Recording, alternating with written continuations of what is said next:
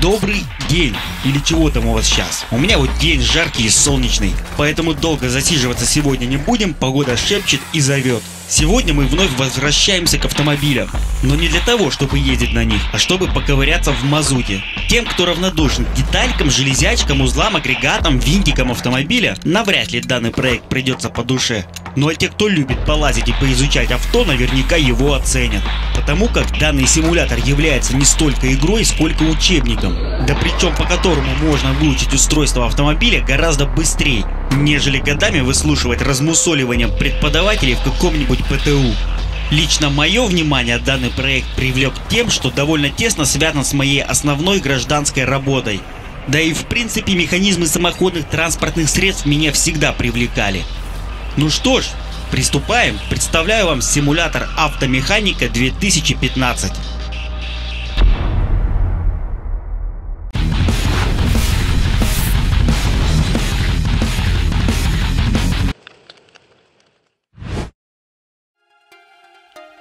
Ну что же, давайте начнем карьеру легендарного автослесаря.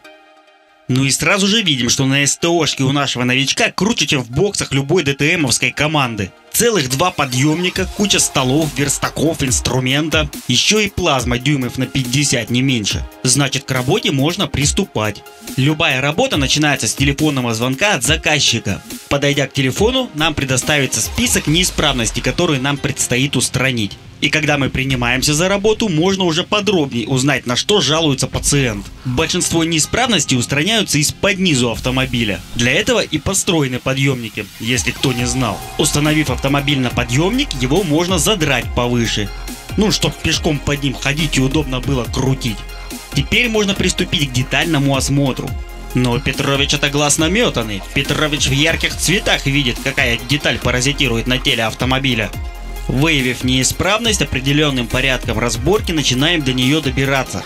Причем не все детали снимаются от руки, а некоторые из них придется даже открутить. И вот когда дефективная запчасть снята, скорее бежим к компьютеру, чтобы заказать новую деталь. С выбором запчастей важно не ошибиться, так как у некоторых запчастей есть по несколько разновидностей, поэтому внимательнее надо смотреть, что именно снимаете. И когда нужная запчасть куплена, бежим обратно к автомобилю, чтобы новую запчасть привинтить на место. Собирать нужно все в том же в порядке, в котором и разбирали. Но ошибиться тут навряд ли получится, Петрович не даст. Таким же макаром устраняем и остальные неисправности. Сразу скажу, что некоторыми расходными запчастями стоит затариться заранее, типа колодок, резиновых втулок, свечек. Стоят они недорого и лишний раз за ними в магазин бегать не придется. Когда все детали будут заменены, все работы выполнены, автомобиль спустим с подъемником, хлопнем капотом и обязательно разобьем бутылку о задний фонарь на счастье. И обязательно содрав деньги с клиента, пожелаем ему счастливого пути. Когда счастливый клиент скроется где-нибудь за углом, можно подумать, как распорядиться с его бэушными запчастями. Во-первых, их можно просто продать, ну а некоторые из них можно попробовать починить на верстаке. Можно, конечно, их нечаянно и доломать, а можно и отремонтировать маленько, а потом поставить другому клиенту. И сказать ему, конечно, что поставили новое. Да, именно вот так на СТОшках и зарабатывают. При выполнении любых работ увеличивается и опыт нашего персонажа. При наборе каждой тысячи опыта предоставляется возможность улучшить свой инструмент инструмент, ускоряющий работу, улучшающий качество ремонта отдельных запчастей и различные диагностические приспособления. Также, набрав определенное количество опыта, можно улучшить и свою мастерскую. Станут доступны покрасочный цех, диагностический и парковка для автомобилей. В общем, чем больше работаешь, тем больше умеешь.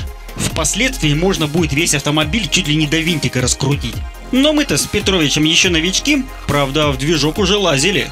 А вообще, Петрович говорит, СТОшку пора закрывать и дуть куда-нибудь на берег пивка бахнуть. И я с ним согласен. В общем, как только мы с ним СТОшку еще подраскрутим, вернемся вновь, и я вам покажу новые возможности, которые позже станут доступны. А сейчас я пошел греть пузо на солнце, чего и вам советую. Только вот ремень ГРМ одной строптивой дамочки заменим. Всем до встречи!